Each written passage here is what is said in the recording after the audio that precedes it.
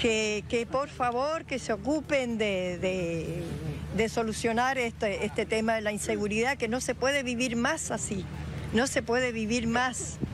Eh, salir una nena, ¿qué, qué, qué daño, a quién hizo daño esta nena para que la golpeen así? eh? Por una mochila, por un celu- celular, que Morena es una nena tranquila, eh, de la casa, ella no, no, no andaba en la calle. Al colegio, cuando estaba acá con el papá, él la llevaba todos los días, todos los días, la llevaba y la traía. Eh, Entonces, gracias a Dios, eh, nunca le pasó nada.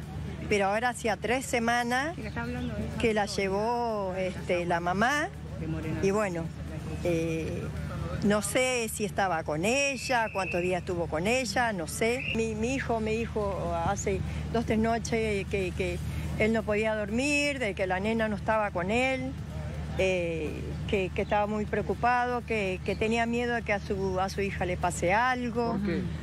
Tenían Era- cuando llega al colegio. Claro, yo, eh, pero nadie sabíamos de que, de que ella iba sola al colegio. No sé, no sé, no sé cómo se sigue porque mi hijo dice que él se va a ir con su hija eh, en poquito tiempo, en poquito, poquita, poquito